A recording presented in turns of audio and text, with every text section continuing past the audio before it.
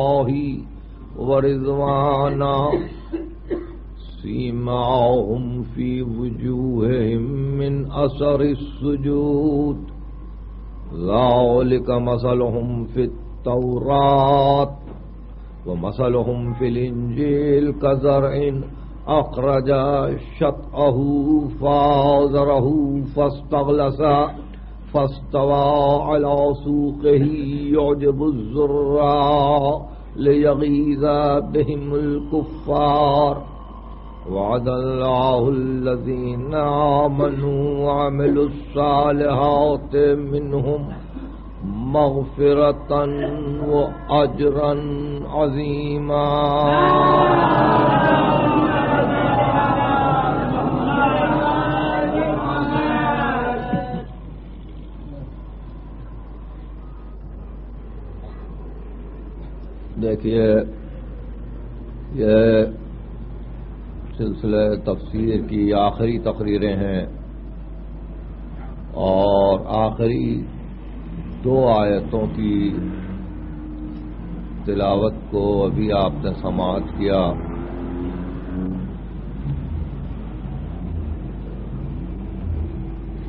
मैंने एक सिलसिला फ़िक्र को पेश किया। मैंने इस अमर की कोशिश की कि आप और आपके ज़रिए से बहुत से सुनने वाले और समझने वाले बाज हकीकतों से आशना हो जाएँ।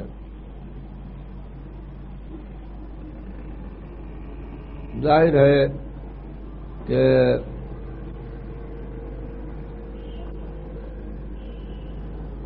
ये तकरीरें जैसा कि खुद आपको अंदाज़ा होगा कि मैंने बहसीत किसी महक़ के या बहसीत किसी आलिम के नहीं की हैं, बल्कि ये तकरीरें इस तरह से हुई कि मैंने कमाल खलूस के साथ जितना मुतालिया मुझसे मुमकिन था, मैंने उसको एकजा करके एक सिल के फ़िक्र में उसको मरबूत करके आपके सामने पेश करने की कोशिश की, जिसको कोई ताल्लुक, रिया दिखाओ और नुमाइश से नहीं है। ज़ाहिर है कि इस हलालत के ज़माने में मुझे इसका कोई इम्कान ही नहीं था कि मैं आपको जहमत देता जबकि खुद मेरे लिए यह तय था कि मैं कतन इस अमर का इकदाम न करूँ और कोशिश करूँ कि मुहर्रम तक आ, कोई तकरीर न हो। ये सोचकर कि बरसों से एक सिलसिला जारी है। मैंने इस सिलसिले को हजब आदत बाकी रखा। अल्लाह का शुक्र है कि सत्ताईस की शब भी आ गई। मौला का करम है कि मेरी जिम्मेदारियों में अब सिर्फ़ दो तकरीरें रह गईं। और आखिरी तकरीर ज़ाहिर है कि वो तकरीर नहीं है, बल्कि वो नजराना अकीदत है। तो ऐसी मंजिल पर, जबकि वक्त भी महदूद है,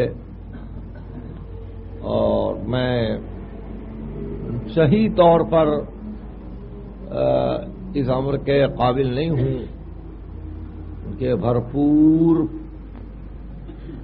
कोशिश की जाए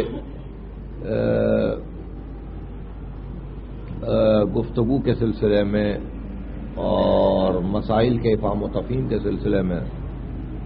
मेरी नाकामियों से मैं वाकिफ हूँ, मेरी कोताहियों से मैं वाकिफ हूँ। बहरहाल, ये कोई माजरत नहीं है जो हक है वर्ष कर रहा हूँ। ये गुफ्तगु इसलिए छिड़ गई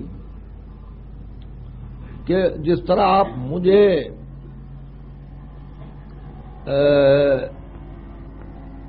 और किसी और को भी बोलते हुए सुने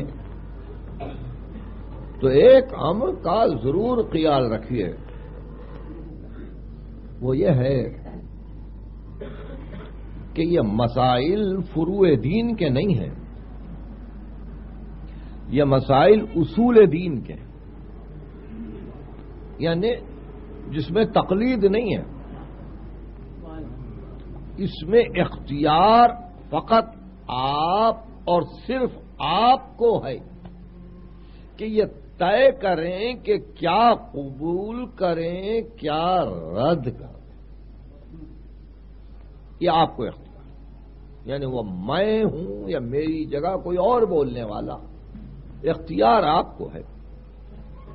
यानी कोई मनवा नहीं सकता, तस्लीम करवा नहीं सकता, अपनी गुफ्तगु को हुज्जत अतम बता नहीं सकता। फकत इसलिए कि ये मसाइल उसूली हैं और उसमें जैसे हमारी फ़िक्र है, वैसे आपकी मगर हमारे लिए जो एक चीज़ दलील है बोलने वालों के लिए, वो दलील ये है कि आपको वक्त चूँकि कम मिलता है किताबों के मुताले का और आपकी नुमाइंदगी हम करते हैं।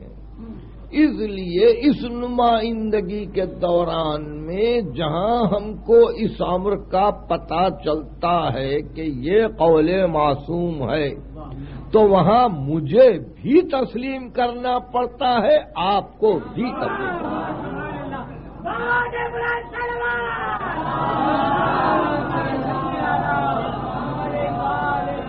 अब इस मंजिल पर आज की गुफ्तगु इस मुख्तसर से जुमले से शुरू होती है। अगर आप याद रखें, मेरे मौला फरमाते मन स्वारल हक स्वाद से स्वाद से। मन स्वारल हक फकत स्वराहू जो हक से लड़ने के लिए निकलता है, हक उसको पछाड़ देता है।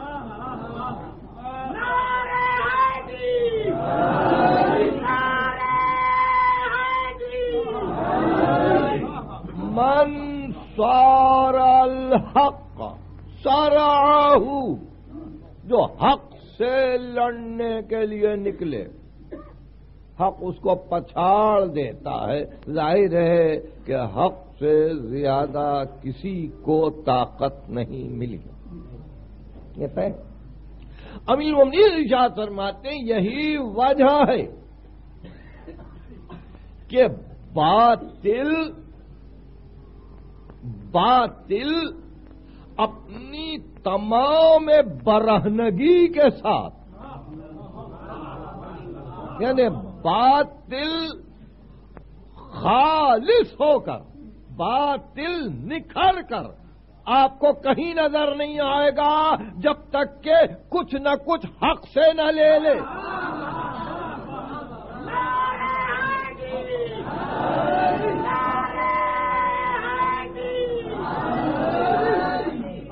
आप याद फरमाते कि अगर बातिल उरिया हो जाए और ये कहे कि हमको हक से काम तो कोई भी बातिल की तरफ़ रुख न करे। मगर गलती जो हो रही है, वो ये है देखने वालों को कि कहीं कहीं हक का लिबास जब नज़र आता है, मगर बातिल की रूह नज़र नहीं आती।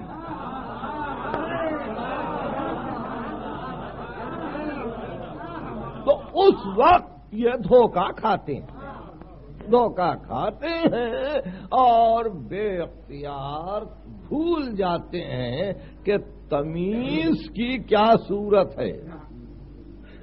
तमीज की क्या सूरत है अगर बातिल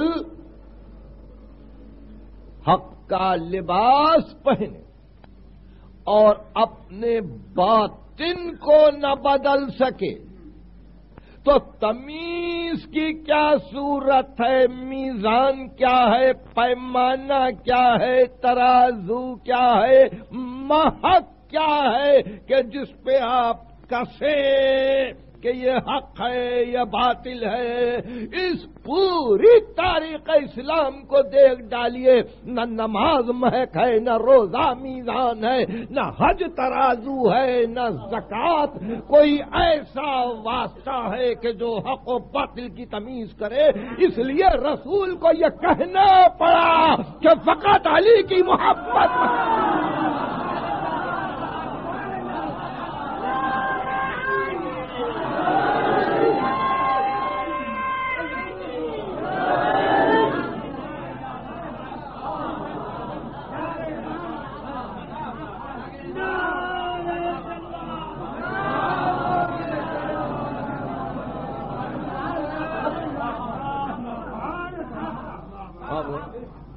तरह से जब हक बातिल से मिल जाए, बातिल हक से मिल जाए तो फिर पहचानने वाली आँख वही हो वही हो, जो दोनों की हकीकतों को जाने। देखिए, ये नबी की आँख है, ये नबी की आँख है, जो ये देखे कि कमीज तो बेटे का है, मगर लहू झूठा है।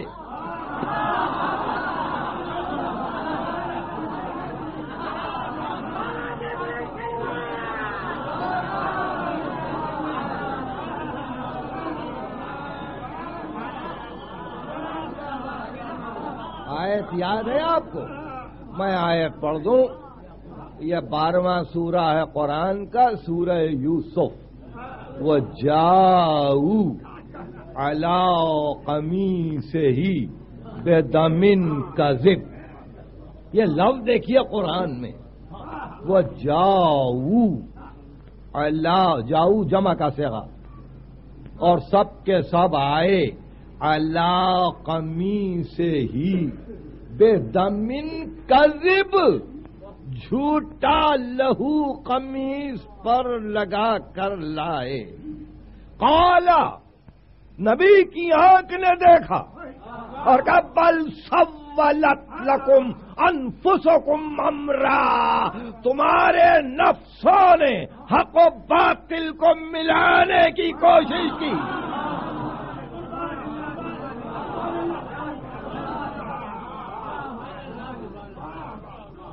सवलत लकुम।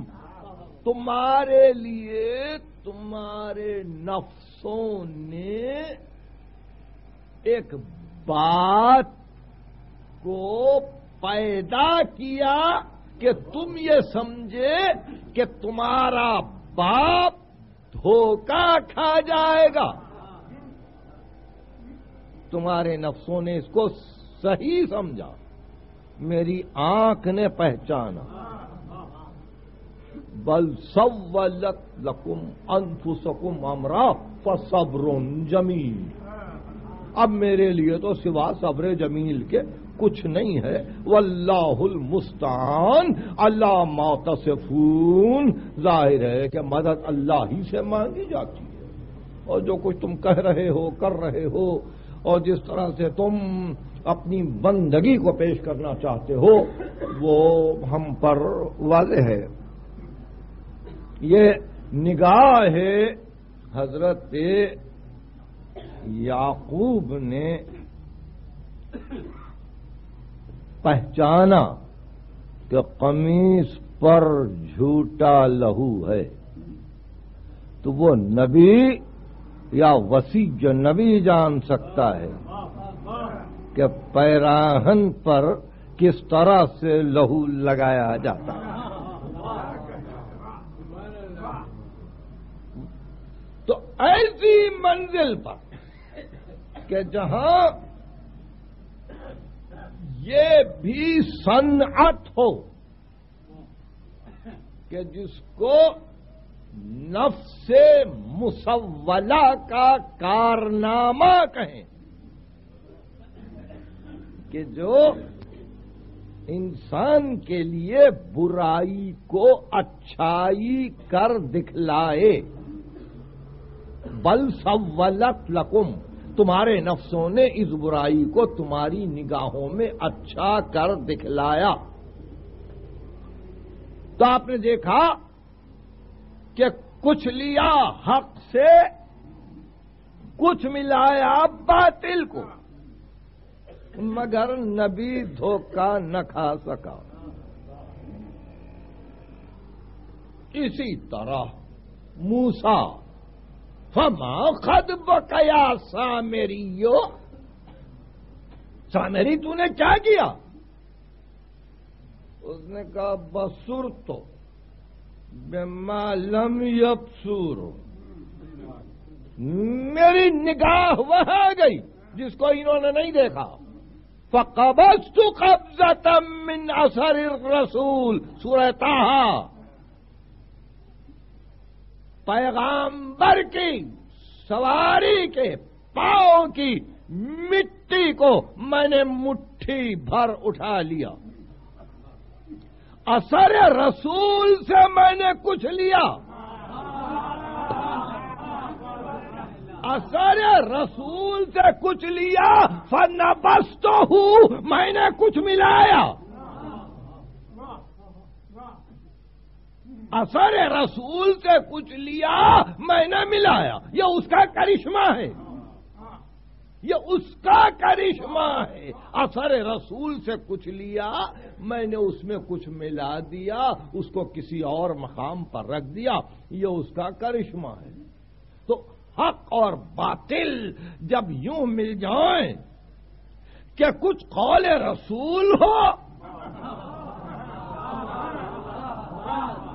कुछ अपना इश्तेहाद हो? कुछ ख्वाहिश नफ्स हो? तो ऐसी मंजिल पर, ऐसी मंजिल पर हक बातिल की तमीज के लिए जैसे वो शर्त है।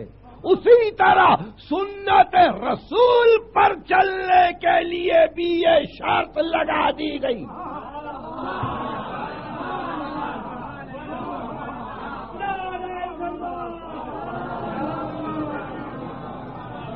देखिए मेरे सिलसिले को आप समझ रहे हैं। क्या कोई कहेगा, ये तो रसूल ने कहा। बेशक रसूल ने कहा, मिलाया आपने क्या? बेशक रसूल ने कहा, आपने क्या मिलाया? तो इस तरह से कब्बस्तु कब्जतम मिन असर रसूल फन बस्तु मैंने असर रसूल से कुछ लिया, उसमें कुछ मिलाया। तो अब उस सुन्नत के लिए महक क्या है? मैार क्या है? मीजान क्या है? तराजू क्या है? पहचान का तरीका क्या है? तो आपने देखा, इस मंजिल पर यह लाजिम था। यह लाजिम था कि कयाम कयामत तक रसूल, अगर सूरह फतह की इस आयत की बिना पर मोहम्मद रसूलुल्लाह है अगर कयामत तक तो उस रसूल पर यह लाजिम है कि अपनी सुन्नत की भी हिफाजत करे।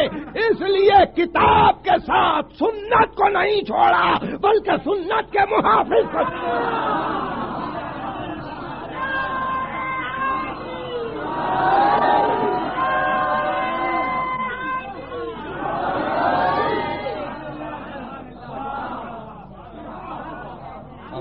मुहाफिज को छोड़ा।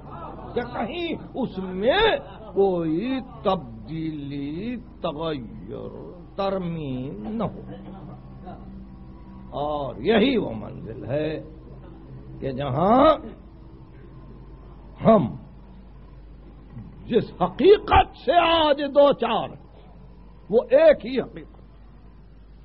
वो हकीकत ये है कि आराफ से गुजरने के बाद, जब जन्नत वाले जन्नत में और जहन्नम वाले जहन्नम में जाएँगे, और मुआजिन नज़र देगा कि जुल्म करने वाले रहमत इलाही से दूर हैं तो जुल्म की तारीफ़ यही की गई अल्लवीना या सुद्दूनान सबीलिल्लाही वो यबगून एवजा जो अल्लाह की राह पर खड़े होकर रास्ते को मोड़ दे और उसमें कजी पैदा कर दे। यबून एवजा, सबील इलाही में एवज नहीं है। क्यों? एहदन सिरातल मुस्तकीम। जो मुस्तकीम होता है, उसमें एवज नहीं है। उसमें कजी नहीं है। वो यब यबून एवजाओ। उसको वो टेढ़ा कर देना चाहते उसमें कजी पैदा कर और यही वो मंजिल है, यही वो मंजिल कि जहाँ बेख्तियार ये देखना पड़ता है बेख्तियार ये देखना पड़ता है कि किसका साथ दें, किसकी फ़िक्र लें। ये मेरी तकरीर के पहले जुमले। हर एक को कैसे कबूल कर ले। मालूम नहीं कहाँ यसुद्दून सभी लिल्ला है। कहाँ यबकून वजह है। साहेब तबरेजी का एक शेर है। बड़ा अजीब शेर है। देखिए, ये फारसी अदब की जान है या शार साहेब के, या जो कुछ भी मैं पढ़ता हूँ फारसी अदब से। अज़ीज़ संगीन दिला साहेब, चराओ चुन तीर नगरीजम मैं इन पत्थर के दिल वालों से साहेब, तीर की तरह कैसे न भागूं। गुरीख्तन अज़ीज़ संगी दिला साहेब चरा चुन तीर नगरीजम के पुरखू शुद्ध दहानम। अज दस्ती के बोसीदम जिस हाथ को मैंने बोसा दिया है, उसी हाथ से मेरे लबों से लहू निकल आया है। कि शुद्ध शुद्धहानम अज हमुन दस्ती के बोसीदम। मैंने तो अकीदत में हाथ का बोसा लेना चाहा। मुझे क्या मालूम था हाथ में कांटे लगे हुए हैं।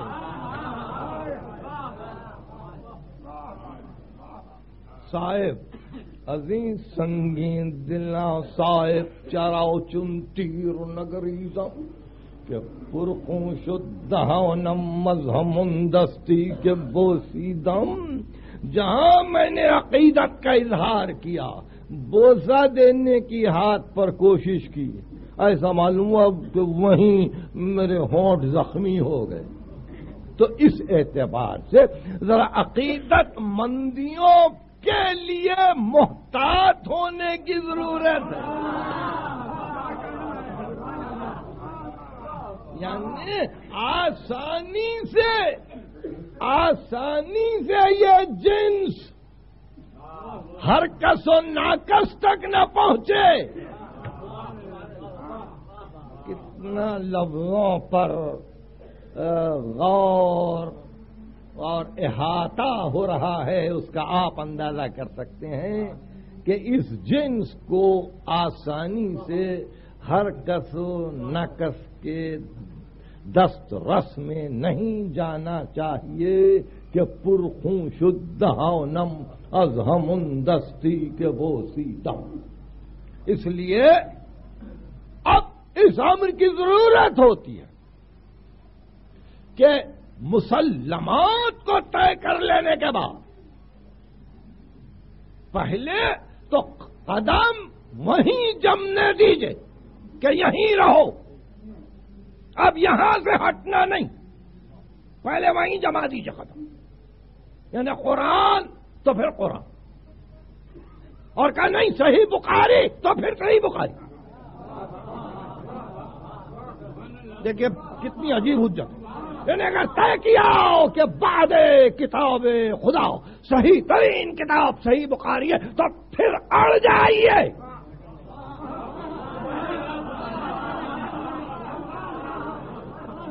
अड़ जाइए।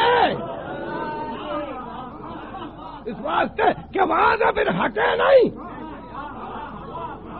फिर ये नहीं कि जब हम सही बुखारी को पढ़ने लगे तो आप किसी और किताब का हवाला दें।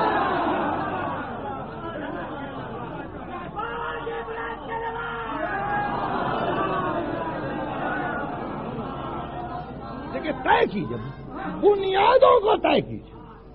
बुनियादों को तय इसलिए कि हमारी गुफ्तगु अहम तरीन मनाजिल पर है।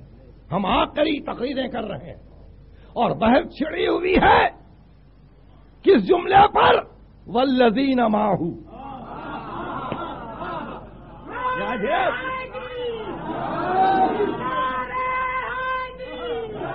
वल्लजीन माहू, वो जो उसके साथ हैं। अब इस वल्लजीना माहू में न माजी है, न हाल है, न मुस्तकबल है। इसलिए कि मोहम्मद रसूलुल्लाह में न माजी है, न हाल है, न मुस्तकबल है।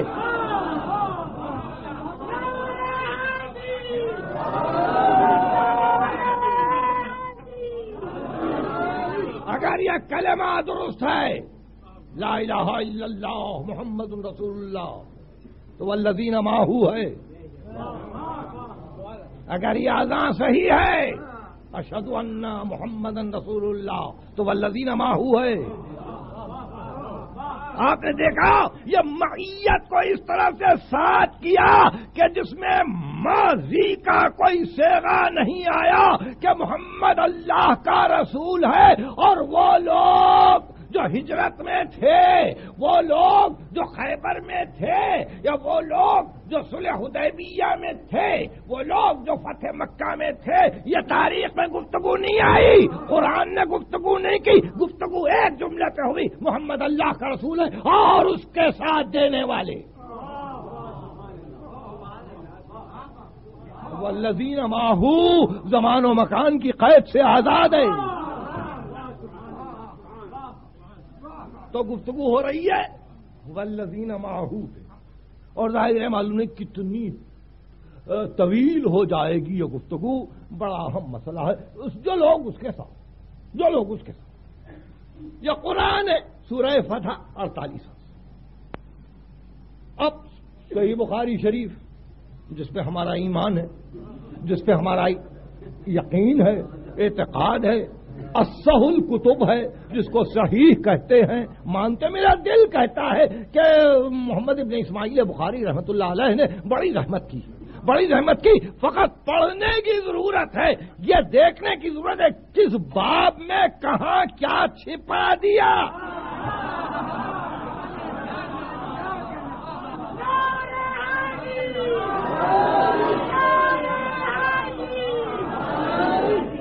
फकत पढ़ने की ज़रूरत है। इस से कि जमाना नज़दीक का है। वो हमसे ज़्यादा जानते हैं लोगों को। आप समझ? छुपा दिया। तो आप सूरह फतह की तफसीर में नहीं। अब यह बाप निकला सूरह मुनाफिकून की तफसीर में। कि एक मरतबा बनिल मुस्तलिक में मुहाजिर अंसार में झगड़ा हो गया। किसी महाजर ने किसी अंसार में से किसी शख्स को मारा, उसने एक मरतबा आवाज़ दी याल अंसार। महाजर ने आवाज़ दी याल महाजरीन। रसूल ने कहा, क्या हो रहा है? कहा, आपस में टकरा गए। कहा रोक दो रोक तो इब्ने उबई ने कहा अब्दुल्ला इब्ने उबई जो कलेमा पढ़ चुका था और यह सुलह हुदैबिया के पहले का वाकया है पाँच हिजरी इन्हें अब्दुल्ला इब्ने उबई फतेह मक्का में मुसलमान होने वालों से पहले का मुसलमान है। उसने कहा कि अच्छा मदीना जाएँगे, लाइन रजाना इलल मदीनते, सूरह मुनाफिकून। अगर हम मदीना वापस हो जाएँगे तो वहाँ के इज्जतमंद जलीलों को बाहर कर देंगे। वहाँ के इज्जतमंद जलीलों को बाहर कर देंगे, मदीने से बाहर फेंक देंगे। और यह लफ्ज जलील, इशारा था महाजरीन की तरफ़, जिसमें सब थे। ये सूरह मुनाफिकून की बेजिन से ही आए। ज़ाहिर है कि इस जुमले पर किसको गुस्सा नहीं आता? हज़रत उमर इबन खत्ताब रज़ी अल्लाह ने कहा, अल्लाह के रसूल कत्ल कर दू इस मुनाफिक को। फरमाया, या उमर, ये सही बुखारी। सूरह मुनाफिकून की तस्वीर तीसरी दिल बेख्तियार पैगंबर ने कहा दाहू या उमर? उमर कुछ हो। लाओ हद न अन्ना मोहम्मद कान यख्तुल असहाबा बाद में कोई ये न कहे कि मोहम्मद अपने असाब को कत्ल करते थे।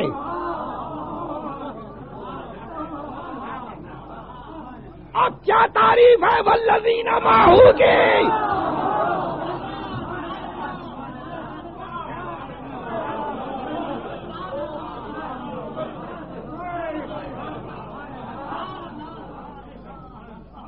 उसको छोड़ो उसको छोड़ो ऐसा ना हो कि कोई ये कह दे कि असाब को कत्ल करते थे? असाब को कत्ल करते थे? इसको छोड़ो।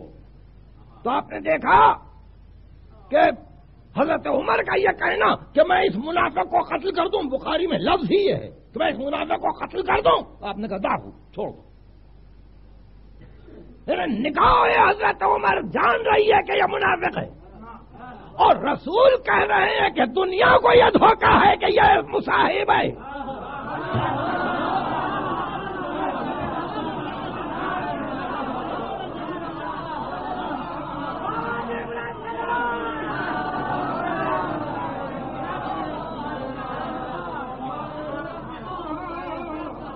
भाई, बुखारी पढ़िए, तीसरी जिल्द। बुखारी की चार जल्दें हैं जो मिस्र में छपी है। मैं तीसरी जल्द से पढ़ रहा हूँ, बाबू तफसीर से। सुरह मुनाफिकून की तफसीर कि कहीं ये लोग न कहने लगे कि अपने असाब को कत्ल करते थे। उसने कहा, मुनाफिक, कहा? अच्छा मुनाफिकून में नाम आया। नाम आया। और उसके बाद, जिस मकाम पर, जिस मकाम पर यह गुफ्तगु आई वहाँ साथ ही एक आयत पुकार रही है। या युहन नबीयो जाहिदिल कुफ्फार वल मुनाफिकीन। है नबी, जिहाद करो, काफिरों से भी और मुनाफिकों से भी।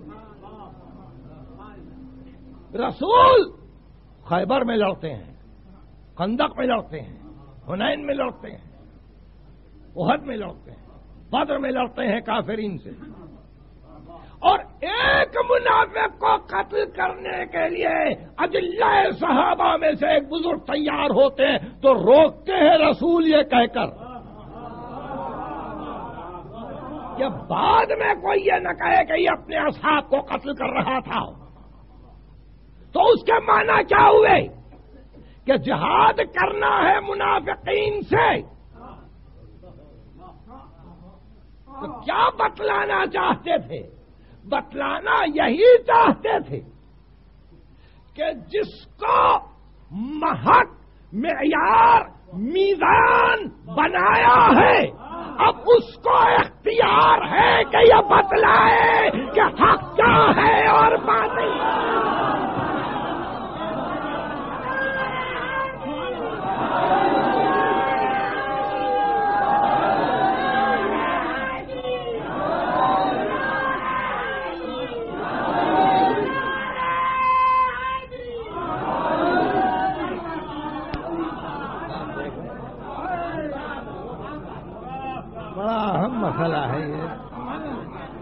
अजीब तरह से ये गुफ्तगु की है, गुफ्तगु बाकी है।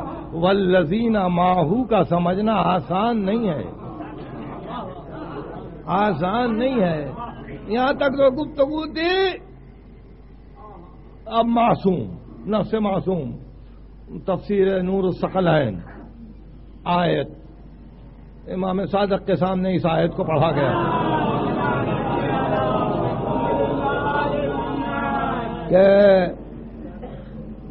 जब रसूल मोहम्मद रसूल वल्लजीन माहू। आपने शब्द सही। क्या इसकी तफसीर? अब देखिए, इमाम और तफसीर, वल्लजीन माहू, आपने कहा कुरान ने खुद तफसीर की। और कहा सूरह तहरीम में, अब वो छसठवां सूरा है। ये अड़तालीसवां सूरा है सूरह फतह। छसठवां सूरा है सूरह तहरीम। और अब तफसीर आ रही है मासूम की जबान से कहा इस लफ्ज की तफसीर सूरह तहरीम में है। और वो ये है कि यौमा ला नबिया, वो दिन होगा जब खुदा अपने नबी को रुसवा न होने देगा। रुसवा के माना समझ रहे हो? यानी कौम की नज़र में पैगंबर का विकार घटेगा नहीं इस बिना पर कि इतने वादे करके आए थे। क्या हुआ? यौमला यौजिल्ला नबिया वो दिन होगा कयामत का, जबकि खुदा नबी को रुसवा न होने देगा। वल्लजीना आमनु माहू। अब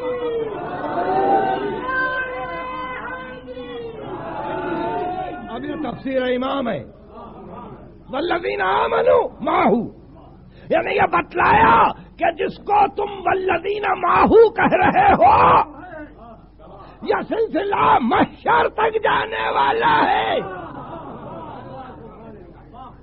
वल्लजीन आमनु, माहू, यकूलूना। नूरहुम यसाओ बैन ऐदीहिम व बेईमानिहिम और उनका नूर उनके सामने दौड़ेगा उनके दाहिने जानिब दौड़ेगा नूरहुम यसा सही करना दौड़ना बैन आईदीहिम व बेईमानिहिम उनके सामने और उनके सीधे जाने यकूलून रब्बना अतमिम लना नूरना वो कहते जाएँगे जो साथी हैं रसूल के परवरदिगार, हमारे नूर को और कामिल करना वह फिर लना। और हमको बख्श दे इन नकाला कुल्ले शहीन खदीर, तू हर शय पर खादिर है। या युहन नबीयो जाहिदिल कुफार वल मुनाफिकीन। अय नबी, जहाद करो कुफार से और मुनाफिकीन से। कयामत का वो दिन होगा कि नबी को रुसवा होने नहीं दिया जाएगा। ईमान वाले साथ होंगे। ईमान वाले वो होंगे कि जो बेनफ्स नफीस ईमान बनकर ये फैसला देंगे कि हक क्या है और बातिल क्या है और किस तरह हक को बातिल से हटाया जा सकता है। और ऐसे मौके पर अगर तलवार खींचे। तलवार खींचे और नफ्स रसूल मजबूर हो जाए इस बात पर कि आयत की तफसील दे और आयत की तफसील करे। या युहन नबियो, जाहिदिल कुफार वल मुनाफिकीन। और अगर नफ्स नबी को इस बात पे मजबूर कर दिया जाए तो वह बतला है। कि वो दौर था खैबर में क्या कुफार से लड़ रहा था। आज यह दौर है कि मुनाफिकीन से लड़ रहा हूँ। आज यह दौर है कि मुनाफिकीन से लड़ रहा हूँ, फकत इसलिए लड़ रहा हूँ कि सुन्नत और सीरत रसूल पर कोई हर्फ ना आए। और यही वो एजाज है जिसको मैं बार बार कहता हूँ कि मुनाफिकीन से लड़ने के बावजूद उलमा इस्लाम ने कहा, करम अल्लाह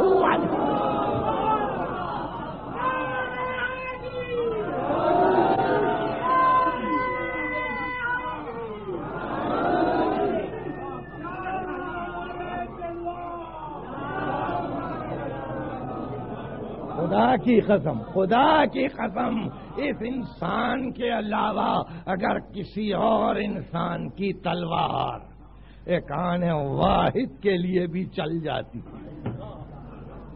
मालूम नहीं क्या क्या होता, मालूम नहीं क्या क्या हो मगर अजब तफरीक हक बातिल में, अजब तफरीक हक बातिल में क्या दुनिया ने पहचान ली दुनिया ने पहचान लिया। कि ये वो है जो आयत की तफसील दे रहा है। लड़ रहा है। खैबर में नहीं, हुनैन में नहीं, बदर में नहीं ओहद में नहीं, जमल में, सिफीन में, नहरवान लड़ रहा है। लड़ रहा है, मगर इसके बावजूद मजाल नहीं है कि। ले गई कई को खिलाफत राशिदा से हटाए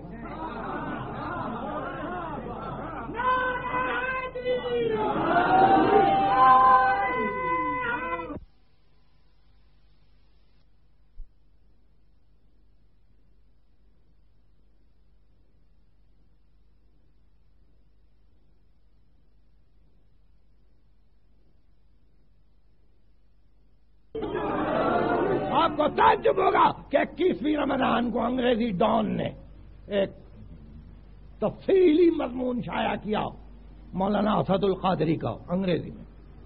ज़ाहिर है कि मैं मजबूर हूँ कि ये सारी चीज़ें मेरी नज़र से गुजरे। उसमें एक जुमला था और कहा कि उन्नीसवीं रमज़ान को जब वाकया हुआ, अगर ये न होता तो अली ने खिलाफत का रुख बदल दिया होता।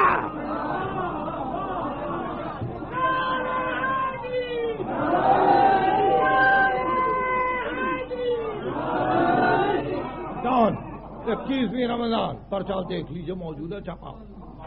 आज किसी और मंजिल पर होती खिलाफ। तो दुनिया को मानना पड़ा। यानी अब दुनिया ये एतराज़ नहीं करती। क्या आपने वहाँ तलवार क्यों खींची? इसलिए कि दुनिया जान रही थी कि हुक्म की तामील हो रही है। खुल के तो कोई नहीं कह सकता कि या नबी का किताब किसकी तरफ़ है?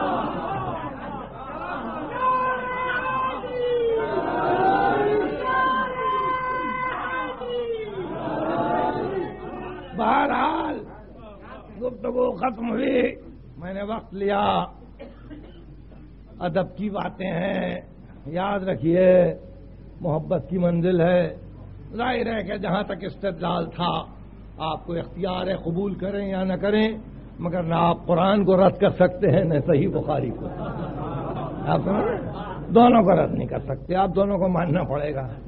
और मान लिया तो मोहब्बत की बातों में एक बात। और वो ये कि ज़ाहिर है कि जहाँ हम, जिसको महक, मैार, तराजू, मैदान समझते हैं यह आमेजिश हक व बातिल को समझने के लिए कि कौन कहाँ मिल गया तो वहाँ एक अजीब मंजिल से गालिब ने दो शेर कहे। और दूसरे शेर पे तकरीर खत्म करूँगा। गालिब ने कहा कि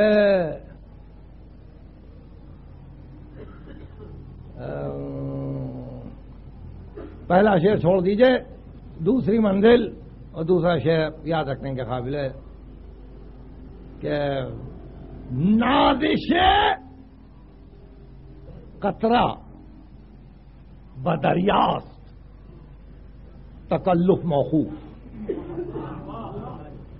ये अल्फाज देखिए, ये इस्तेलाहात देखिए। अरे कतरे को नाज है दरिया पर, तकल्लुफ बरतरफ।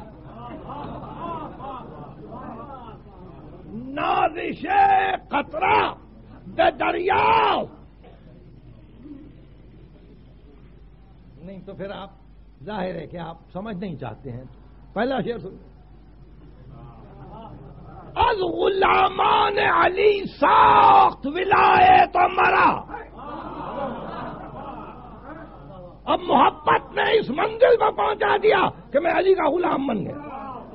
अब जो अली का गुलाम बना तो तहनीत खाओ। बड़े बूजर सलमान रफ्तम मैं बूजर सलमान के पास गया और कहा, मुझे मुबारकबाद दो।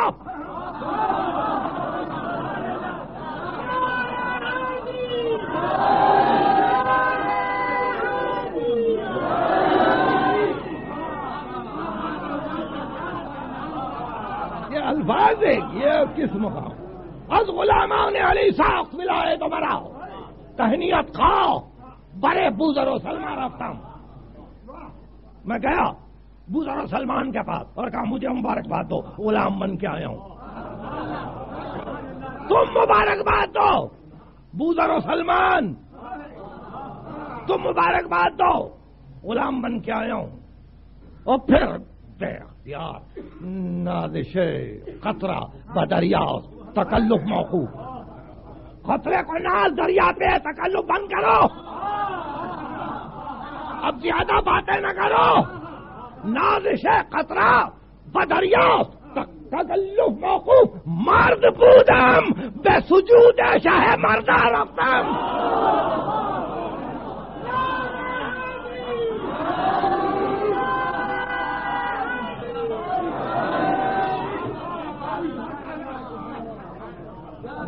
साजिश खतरा बदरिया तकल्लुफ मौकूफ अरे गाले अरे अपने को भी पहचानवा दिया मर्द बूदम मर्द बूदम